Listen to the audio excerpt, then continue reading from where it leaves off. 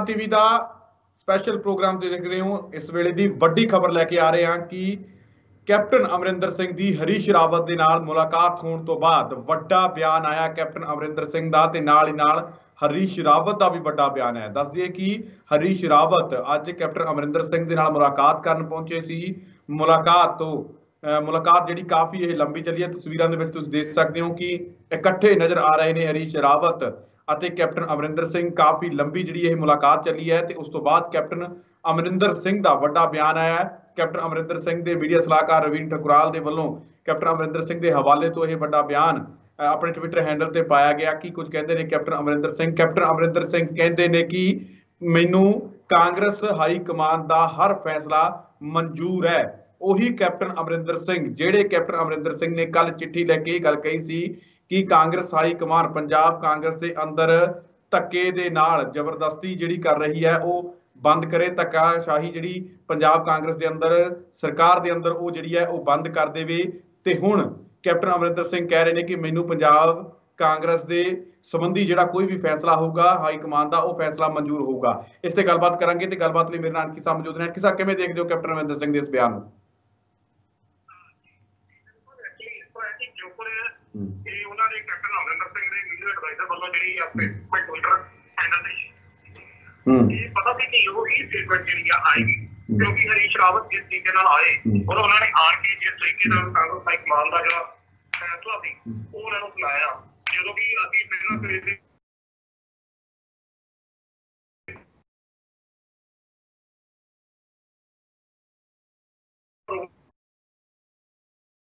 ਸੀ ਔਰ ਜਿਹੜਾ ਫੈਸਲਾ ਸੀ ਉਹ ਬਹੁਤ ਸਖਤ ਫੈਸਲਾ ਸੀ। ਜਿਸ ਤਰੀਕੇ ਨਾਲ ਤੁਸੀਂ ਵੀ ਗੱਲ ਕੀਤੀ ਸੀ ਕਿ ਜਿਸ ਤਰੀਕੇ ਨਾਲ ਰਾਹੁਲ ਗਾਂਧੀ ਕਿ ਜਿਹਨੇ ਪਾਰਟੀ ਪਾਸ ਜਿਹੜਾ ਤਾਂ ਤੋਂ ਇਹੋ ਜਿਹਾ ਮੈਸੇਜ ਜਿਹੜਾ ਸੀ ਕਾਂਗਰਸ ਦੀ ਕਮਾਨ ਵੱਲੋਂ ਉਹ ਮੈਂ ਲੈ ਕੇ ਹਰੀਸ਼ ਰਾਵਤ ਦਾ ਜਦੋਂ ਪੇਪਰ ਫਾਰਮ ਤੇ ਪਹੁੰਚੇ ਨੇ ਕਹਿੰਦਾ ਅਮਰਿੰਦਰ ਸਿੰਘ ਹੋਣਾ ਨਾਲ ਕਰੀਬ ਇਹ ਮੀਟਿੰਗ 2 ਘੰਟੇ ਦੇ ਕਰੀਬ ਇਹ ਮੀਟਿੰਗ ਜਿਹੜੀ ਆ ਉਹ ਚੱਲੀ ਆ। ਔਰ 2 ਘੰਟੇ ਦੀ ਮੀਟਿੰਗ ਦੇ ਚੱਲਣ ਦੇ ਦੌਰਾਨ ਜਿੱਥੇ ਸਾਰੀ ਸ਼ੰਕੇ ਜਿਹੜੇ ਨੇ ਕੈਪਟਨ ਅਮਰਿੰਦਰ ਸਿੰਘ ਦੇ ਨਿਵਿਤ ਪ੍ਰਦੇਸ਼ ਦੀ ਉਹਦੇ ਨਾਲ ਹੀ ਨਾਲ ਇਹ ਵੀ ਗੱਲ ਜਿਹੜੀ ਆ ਰਿਲੀਜ਼ ਕਰ ਦਿੱਤੀ ਗਈ। ਬਿਲਕੁਲ ਤਾਂ ਇੱਥੇ ਥੋੜੀ ਜਿਹੀ ਨੈਟਵਰਕ ਦੀ ਪ੍ਰੋਬਲਮ ਦੇ ਕਾਰਨ ਜਿਹੜੀ ਅਣਖੀ ਸਾਹਿਬ ਦੇ ਨਾਲ ਗੱਲਬਾਤ ਜਿਹੜੀ ਕੱਟੀ ਜਾ ਰਹੀ ਹੈ ਤਾਂ ਇਸ ਵੇਲੇ ਦੀ ਵੱਡੀ ਖਬਰ ਤਸਵੀਰ ਦੇ ਵਿੱਚ ਤੁਸੀਂ ਦੇਖ ਸਕਦੇ ਹੋ ਕਿ ਸਕਰੀਨ ਦੇ ਉੱਪਰ ਜਿਹੜੀਆਂ ਤਸਵੀਰਾਂ ਚੱਲ ਰਹੀਆਂ ਨੇ ਕੈਪਟਨ ਅਮਰਿੰਦਰ ਸਿੰਘ ਅਤੇ ਹਰੀਸ਼ ਰਾਵਤ ਦੇ ਵਿਚਕਾਰ ਜਿਹੜੀ ਇਹ ਮੀਟਿੰਗ ਹੋਈ ਹੈ ਉਸ ਮੀਟਿੰਗ ਦੀਆਂ ਇਹ ਤਸਵੀਰਾਂ ਨੇ।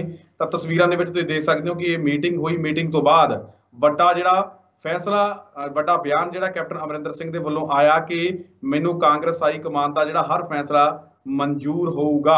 ਉਹੀ ਕੈਪਟਨ ਅਮਰਿੰਦਰ ਸਿੰਘ ਨੇ ਤਾਂ ਅਣਖੀ ਸਾਹਿਬ ਨਾਲ ਦੁਬਾਰਾ ਜੁੜਿਆ ਤੇ ਦੁਬਾਰਾ ਅਣਖੀ ਸਾਹਿਬ ਕਿਵੇਂ ਦੇਖਦੇ ਹੋ? ਉਹੀ ਕੈਪਟਨ ਅਮਰਿੰਦਰ ਸਿੰਘ ਜਿਹੜੇ ਕਹਿੰਦੇ ਸੀ ਕਿ ਜ਼ਬਰਦਸਤੀ ਨਾ ਕਰੇ, ਕਾਂਗਰਸ ਹਾਈ ਕਮਾਨ ਪੰਜਾਬ ਦੇ ਅੰਦਰ ਦਖਲ ਅੰਦਾਜ਼ੀ ਨਾ ਕਰੇ ਤੇ ਅੱਜ ਉਹੀ ਕੈਪਟਨ ਅਮਰਿੰਦਰ ਸਿੰਘ ਗੱਲ ਕਹਿ ਰਹੇ ਨੇ ਕਿ ਮੈਨੂੰ ਜਿਹੜਾ ਹਰ ਫੈਸਲਾ ਮਨਜ਼ੂਰ ਹੈਗਾ ਹਾਈ ਕਮਾਨ ਦਾ ਹਾਂ ਬਿਲਕੁਲ ਸਿੱਧੂ ਸਾਹਿਬ ਮੈਂ ਕਨੈਕਸ਼ਨ ਬੜਾ ਇੰਟਰਨੈਟ ਦੀ ਪ੍ਰੋਬਲਮ ਸੀ ਮੈਂ ਇਹ ਕਿ ਹਰੀਸ਼ ਰਾਵਤ ਵੱਲੋਂ ਜੋ ਮੈਸੇਜ ਜਿਹੜਾ ਦਿੱਤਾ ਗਿਆ ਉਹ ਕੈਪਟਨ ਅਮਰਿੰਦਰ ਸਿੰਘ ਨੂੰ ਕਾਫੀ ਸਖਤ ਸ਼ਬਦਾਂ ਦੇ ਵਿੱਚ ਇਹ ਦੱਸ ਦਿੱਤਾ ਗਿਆ ਕਿ ਜਿਹੜੀ ਕਾਂਗਰਸ ਹਾਈ ਕਮਾਂਡ ਕਿਸੇ ਵੀ ਸੂਰਤ ਵਿੱਚ ਹੁਣ ਬਲੈਕਮੇਲ ਜਿਹੜੀ ਆ ਉਹ ਨਹੀਂ ਹੋਵੇਗੀ ਜੋ ਵੀ ਫੈਸਲੇ ਲੈਣਗੇ ਪਾਰਟੀ ਦੀ ਭਲਾਈ ਵਾਸਤੇ ਜਾਂ ਅਹ, 2022 ਦੀਆਂ ਜਿਹੜੀ ਚੋਣਾਂ ਹੋਣੀਆਂ ਨੇ ਜਾਂ 2024 ਦੀਆਂ ਚੋਣਾਂ ਹੋਣੀਆਂ ਨੇ ਉਹ ਵਿੱਚ ਇਹ ਸਖਤ ਫੈਸਲੇ ਜਿਹੜੀ ਉਹ ਲੈ ਜਾਣ ਜ਼ਰੂਰੀ ਨੇ। ਔਰ ਜਿਸ ਤਰੀਕੇ ਨਾਲ ਕਾਂਗਰਸ ਹਾਈ ਕਮਾਂਡ ਨੇ ਨਵਜੋਤ ਸਿੰਘ ਸਿੱਧੂ ਨੂੰ ਪ੍ਰਧਾਨ ਸੂਬਾ ਕਾਂਗਰਸ ਦਾ ਪ੍ਰਧਾਨ ਬਣਾਉਣ ਦਾ ਮਨ ਜਿਹੜਾ ਉਹ ਪੂਰਨ ਤੌਰ ਤੇ ਮਨਾ ਰਿਹਾ ਔਰ ਬਣ ਚੁੱਕਾ ਤਾਂ ਇਹਦੇ ਸੰਬੰਧੀ ਕੈਪਟਨ ਅਮਰਿੰਦਰ ਸਿੰਘ ਕੋਲ ਹੋਣਾ ਕੋਲ ਕੋਈ ਵੀ ਚਾਰਾ ਜਿਹੜਾ ਸੀ ਉਹ ਨਹੀਂ ਸੀ ਬਚਦਾ ਉਹ ਸਰਕਾਰ ਕਰਨ ਤੋਂ ਬਿਨਾਂ।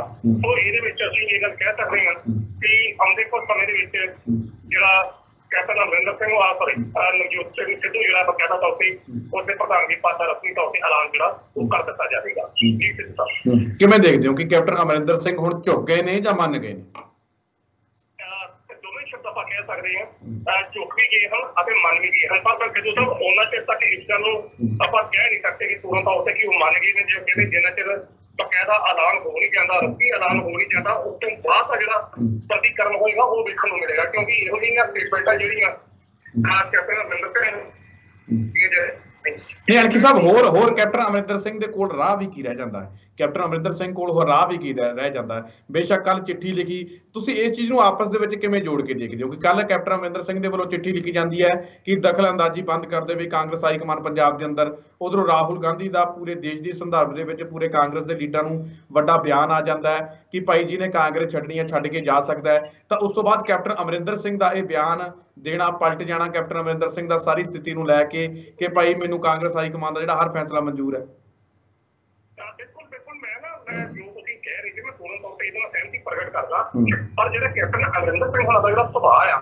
ਤਾਂ ਠੀਕ ਹੈ ਸਮੇਂ ਆਪਣੇ ਜਿਹੜੇ ਪੱਕੇ ਜੱਫਾ ਖੋਲਦੇ ਹੁੰਦੇ ਕਿਉਂਕਿ ਇਹੋ ਜਿਹੀਆਂ ਸਟੇਟਮੈਂਟਾਂ ਉਹਨਾਂ ਦੀ ਪਹਿਲਾਂ ਵੀ ਆਉਂਦੀਆਂ ਰਹਿੰਦੀਆਂ ਨੇ ਕਿ ਕਾਂਗਰਸ ਪ੍ਰਧਾਨ ਦਾ ਜਿਹੜਾ ਅਹ, ਫੈਸਲਾ ਉਹਨੂੰ ਮਨਜ਼ੂਰ ਹੋਏਗਾ। ਪਰ ਜੇਕਰ ਫੈਸਲਾ ਮਨਜ਼ੂਰ ਤਾਂ ਫਿਰ ਕੱਲ ਚਿੱਠੀ ਲਿਖਣ ਦੀ ਕੀ ਜ਼ਰੂਰਤ ਸੀ? ਜਿਹੜੀ ਕੱਲ ਚਿੱਠੀ ਲਿਖੀ ਪੰਜ ਹਰੀਸ਼ ਰਾਵਤ ਆਏ। ਔਰ ਉਸ ਤੋਂ ਬਾਅਦ ਟਵਿੱਟਰ ਹੈਂਡਲ ਤੇ ਉਹਨਾਂ ਦੇ ਮੀਡੀਆ ਐਡਵਾਈਜ਼ਰ ਦਾ ਜਿਹੜੀ ਸਟੇਟਮੈਂਟ ਹੁੰਦੀ ਆ ਠੀਕ ਹੈ ਜੀ ਕੋਈ ਸਮੇਂ ਵਾਸਤੇ ਹੁਣ ਇਹ ਗੱਲਾਂ ਕਹਿ ਸਕਦੇ ਆ ਕਿ ਇਹ ਸੰਤੁਸ਼ਟੀ ਕਰਨ ਵਾਲੀ ਨੇ ਪਰ ਅਸਲ ਜਿਹੜੀ ਸਥਿਤੀ ਆ ਉਹਨਾਂ ਚਿਰ ਤੱਕ ਮੈਨੂੰ ਮਹਿਸੂਸ ਹੁੰਦੀ ਕਿ ਜਿਹੜਾ ਚਿਰ ਤੱਕ ਰਸਮੀ ਤੌਰ ਤੇ ਐਲਾਨ ਨਹੀਂ ਹੋ ਜਾਂਦਾ ਉਸ ਤੋਂ ਬਾਅਦ ਕੈਪਟਨ ਅਮਰਿੰਦਰ ਸਿੰਘ ਦਾ ਵਿਅਕਤੀ ਪ੍ਰਤੀਕਰਮ ਨਹੀਂ, ਜਿਸ ਤਰੀਕੇ ਦੇ ਨਾਲ ਹਰੀਸ਼ ਰਾਵਤ ਕੈਪਟਨ ਅਮਰਿੰਦਰ ਸਿੰਘ ਨੂੰ ਮਨਾਉਣ ਤੋਂ, ਅਣਖੀ ਸਾਹਿਬ, ਜਿਸ ਤਰੀਕੇ ਦੇ ਨਾਲ ਹਰੀਸ਼ ਰਾਵਤ ਕੈਪਟਨ ਅਮਰਿੰਦਰ ਸਿੰਘ ਨੂੰ ਮਨਾਉਣ ਤੋਂ ਬਾਅਦ ਤੁਰੰਤ ਚੌਪਰ ਦੇ ਰਾਹੀਂ ਦਿੱਲੀ ਪਰਤ ਗਏ ਨੇ, ਹੋਰ ਕਿਸੇ ਦੇ ਨਾਲ ਮੁਲਾਕਾਤ ਨਹੀਂ ਕੀਤੀ ਟਾਈਮ ਜਾਇਆ ਨਹੀਂ ਕੀਤਾ, ਸਿੱਧੇ ਦਿੱਲੀ ਪਹੁੰਚਣਗੇ, ਕੁਝ ਦੇਰ ਤੱਕ ਦਿੱਲੀ ਪਹੁੰਚ ਜਾਣਗੇ।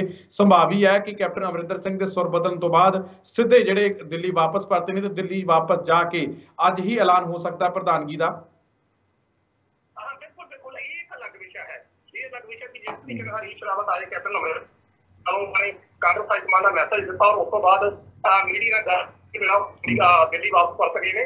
ਤਾਂ ਇਹਦੇ ਵਿੱਚ ਇਹੋ ਜੀ ਆਣੀ ਕਿ ਇਹ ਸ਼ਾਮ ਤੱਕ ਜਿਹੜਾ ਅਹ, ਜਗਜੋਤ ਸਿੱਧੂ ਦਾ ਰਸਮੀ ਤੌਰ ਤੇ ਜਿਹੜਾ ਪ੍ਰਧਾਨ ਦਾ ਪ੍ਰਧਾਨ ਜਿਹੜਾ ਕੀਤਾ ਜਾਵੇਗਾ।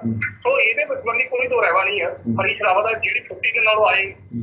ਜਿਸ ਛੁੱਟੀ ਨਾਲ ਉਹ ਵਾਪਸ ਗਏ ਔਰ ਜਾ ਕੇ ਜਿਸ ਤਰੀਕੇ ਨਾਲ ਉਹਨਾਂ ਨੇ ਕੈਪਟਨ ਅਮਰਿੰਦਰ ਸਿੰਘ ਨੂੰ ਮਨਾਇਆ ਤਾਂ ਦੂਜੇ ਪਾਸੇ ਮਨਜੂਰ ਸਿੱਧੂ ਵੀ ਇੱਥੇ ਐਕਸ਼ਨ ਮੂਵ ਦੇ ਵਿੱਚ ਜਿਹੜੇ ਅੱਜ ਨਜ਼ਰ ਆਏ ਸਾਰੇ ਵਿਧਾਇਕਾਂ ਨੂੰ ਸਾਰੇ ਮੰਤਰੀਆਂ ਨੂੰ ਜਿਸ ਤਰੀਕੇ ਨਾਲ ਮਿਲੇ ਨੇ। ਤਾਂ ਉਹਦੇ ਸੰਬੰਧੀ ਬਿਲਕੁਲ ਤੁਹਾਡੀ ਗੱਲ ਦਰੁਸਤ ਆ ਕਿ ਸ਼ਾਮ ਤੱਕ ਜਿਹੜਾ ਆ ਜਿਹੜਾ ਕਿਸੇ ਦੇਰੀ ਤੋਂ ਜਿਹੜਾ ਐਲਾਨ ਜਿਹੜਾ ਉਹ ਹੋ ਸਕਦਾ ਹੈ। ਜੀ ਅਣਖੀ ਸਾਹਿਬ ਤੁਸੀਂ ਸਾਡੇ ਨਾਲ ਜੁੜੇ ਤੁਹਾਡਾ ਬਹੁਤ ਬਹੁਤ ਧੰਨਵਾਦ ਜੀ। ਤਾਂ ਇਹ ਸਨ ਅਣਖੀ ਸਾਹਿਬ ਇਸ ਖਬਰ ਤੇ ਬਣੇ ਹੋਏ ਸੀ ਸਾਡੇ ਨਾਲ ਤਾਂ ਦੱਸ ਦਈਏ ਕਿ ਕੈਪਟਨ ਅਮਰਿੰਦਰ ਸਿੰਘ ਕੈਪਟਨ ਅਮਰਿੰਦਰ ਸਿੰਘ ਦੀ ਮੀਟਿੰਗ ਹੋਈ ਹਰੀਸ਼ ਰਾਵਤ ਦੇ ਨਾਲ। ਮੀਟਿੰਗ ਤੋਂ ਬਾਅਦ ਹਰੀ ਸ਼ਰਾਵਤ ਅਤੇ ਕੈਪਟਨ ਅਮਰਿੰਦਰ ਸਿੰਘ ਦਾ ਵੱਡਾ ਬਿਆਨ ਆਉਂਦਾ ਹੈ। ਉਹਨਾਂ ਦੇ ਵੱਲੋਂ ਇਹ ਗੱਲ ਕਹੀ ਜਾਂਦੀ ਹੈ ਕਿ ਮੈਨੂੰ ਹਰ ਫੈਸਲਾ ਕਾਂਗਰਸ ਹਾਈ ਕਮਾਂਡ ਦਾ ਮਨਜ਼ੂਰ ਹੈ। ਖਾਸ ਕਰਕੇ ਸਵਾਲ ਉੱਠਦੇ ਨੇ ਕੈਪਟਨ ਅਮਰਿੰਦਰ ਸਿੰਘ ਤੇ ਕਿ ਠੀਕ ਹੈ ਜੇ ਤੁਹਾਨੂੰ ਹਰ ਫੈਸਲਾ ਮਨਜ਼ੂਰ ਸੀ ਤਾਂ ਕੱਲ ਚਿੱਠੀ ਲਿਖਣ ਦੀ ਲੋੜ ਕੀ ਪੈ ਗਈ ਸੀ? ਇੰਨੀਆਂ ਡੂੰਘੀਆਂ ਗੱਲਾਂ ਲਿਖਣ ਦੀ ਕਿਉਂਕਿ ਕੈਪਟਨ ਅਮਰਿੰਦਰ ਸਿੰਘ ਨੇ ਸਿੱਧੇ ਤੌਰ ਤੇ ਇਥੋਂ ਤੱਕ ਗੱਲ ਕਹਿ ਦਿੱਤੀ ਸੀ ਕਿ ਕਾਂਗਰਸ ਹਾਈ ਕਮਾਨ ਜਿਹੜੀ ਹੈ ਉਹ ਆਪਣੀ ਦਖਲ ਅੰਦਾਜ਼ੀ ਬੰਦ ਕਰ ਦੇਵੇ ਪੰਜਾਬ ਦੇ ਅੰਦਰ। ਤਾਂ ਉਸ ਤੋਂ ਬਾਅਦ ਪੂਰੇ ਦੇਸ਼ ਦੇ ਸੰਦਰਭ ਦੇ ਵਿੱਚ, ਪੂਰੇ ਦੇਸ਼ ਦੀ ਕਾਂਗਰਸ ਦੇ ਸੰਦਰਭ ਦੇ ਵਿੱਚ ਬਿਆਨ ਆ ਜਾਂਦਾ ਰਾਹੁਲ ਗਾਂਧੀ ਦਾ। ਉਹਨਾਂ ਦੇ ਵੱਲੋਂ ਇਹ ਗੱਲ ਕਹਿ ਦਿੱਤੀ ਜਾਂਦੀ ਹੈ ਕਿ ਜਿਨੇ ਕਾਂਗਰਸ ਛੱਡ ਕੇ ਜਾਣਾ ਜਾ ਸਕਦਾ ਹੈ। ਤਾਂ ਉਸ ਤੋਂ ਬਾਅਦ ਹੁਣ ਕੈਪਟਨ ਅਮਰਿੰਦਰ ਸਿੰਘ ਨੂੰ ਮੁਲਾਕਾਤ ਲਈ ਮਿਲੇ ਹਰੀਸ਼ ਰਾਵਤ। ਉਸ ਤੋਂ ਬਾਅਦ ਕੈਪਟਨ ਅਮਰਿੰਦਰ ਸਿੰਘ ਦੇ ਜਿਹੜੇ ਸੁਰ ਬਦਲੇ ਨੇ, ਹੁਣ ਉਹਨਾਂ ਵੱਲੋਂ ਕਹਿ ਦਿੱਤਾ ਗਿਆ ਕਿ ਹਾਈ ਕਮਾਂਡ ਦਾ ਹਰ ਫੈਸਲਾ ਮਨਜ਼ੂਰ ਹੋਊਗਾ। ਤੇ ਖਾਸ ਗੱਲ ਇਹ ਰਹੀ ਕਿ ਮੁਲਾਕਾਤ ਤੋਂ ਬਾਅਦ ਜਿੱਥੇ ਇੱਕ ਪਾਸੇ ਕੈਪਟਨ ਅਮਰਿੰਦਰ ਸਿੰਘ ਅਤੇ ਹਰੀਸ਼ ਰਾਵਤ ਦੀ ਮੁਲਾਕਾਤ ਚੱਲ ਰਹੀ ਸੀ, ਤਾਂ ਦੂਜੇ ਪਾਸੇ ਨਵਜੋਤ ਸਿੰਘ ਸਿੱਧੂ ਬਾਕੀ तमाम ਲੀਡਰਾਂ ਦੇ ਨਾਲ तमाम ਵਿਧਾਇਕਾਂ तमाम ਮੰਤਰੀਆਂ ਦੇ ਨਾਲ ਇੱਕ ਸ਼ਕਤੀ ਪ੍ਰਦਰਸ਼ਨ ਕਰਦੇ ਹੋਏ ਨਜ਼ਰ ਆ ਰਹੇ ਨੇ ਵੱਡਾ ਕਾਫਲਾ ਲੈ ਕੇ ਚੱਲ ਰਹੇ ਨੇ ਜਿਸ ਤੋਂ ਸਾਫ਼ ਲੱਗ ਰਿਹਾ ਹੈ ਕਿ ਅਹ, ਕੈਪਟਨ ਨਾਲ ਮੁਲਾਕਾਤ ਕਰਨ ਤੋਂ ਬਾਅਦ ਤੁਰੰਤ ਜਿਹੜਾ ਵਾਪਸ ਚਲੇ ਗਏ ਹਰੀਸ਼ ਰਾਵਤ ਚੌਪਰ ਦੇ ਰਾਹੀਂ ਤਾਂ ਦੂਜੇ ਪਾਸੇ ਸਾਰੇ ਮੰਤਰੀ ਤੇ ਵਿਧਾਇਕ ਇਕੱਠੇ ਹੋਏ ਹੋਏ ਨੇ ਉਮੀਦ ਕੀਤੀ ਜਾ ਰਹੀ ਹੈ ਕਿ ਤੁਰੰਤ ਵਾਪਸ ਜਾ ਕੇ ਹੋ ਸਕਦਾ ਹੈ ਕਿ ਹਰੀਸ਼ ਰਾਵਤ ਜਦੋਂ ਹੀ ਦਿੱਲੀ ਪਹੁੰਚਣ ਤਾਂ ਤੁਰੰਤ ਜਿਹੜਾ ਉੱਥੋਂ ਜਾ ਕੇ ਕਾਂਗਰਸ ਦੀ ਨਵੇਂ ਪ੍ਰਧਾਨ ਦਾ ਐਲਾਨ ਹੋ ਸਕਦਾ ਹੈ। ਕਾਂਗਰਸ ਦੇ ਨਵੇਂ ਪ੍ਰਧਾਨ ਨਵਜੋਤ ਸਿੰਘ ਸਿੱਧੂ ਦੇ ਬਾਰੇ ਨਾਮ ਜਿਹੜਾ ਨਸ਼ਰ ਕੀਤਾ ਜਾ ਸਕਦਾ ਹੈ। ਨਵਜੋਤ ਸਿੰਘ ਸਿੱਧੂ ਨੂੰ ਐਲਾਨ ਕੀਤਾ ਜਾ ਸਕਦਾ ਹੈ ਕਿ ਅੱਜ ਤੋਂ ਪੰਜਾਬ ਕਾਂਗਰਸ ਦੇ ਪ੍ਰਧਾਨ ਜਿਹੜੇ ਨਵਜੋਤ ਸਿੰਘ ਸਿੱਧੂ ਹੋਣਗੇ। ਫਿਲਹਾਲ ਹੀ ਮੈਨੂੰ ਦਿਓ ਇਜਾਜ਼ਤ, ਦੁਬਾਰਾ ਫਿਰ ਮਿਲਾਂਗੇ। ਧੰਨਵਾਦ।